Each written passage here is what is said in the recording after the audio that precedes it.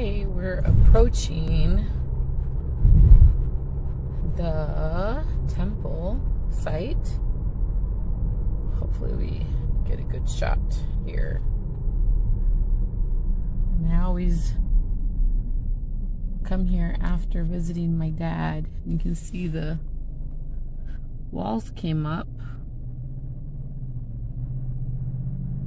So that's what it looks like so far.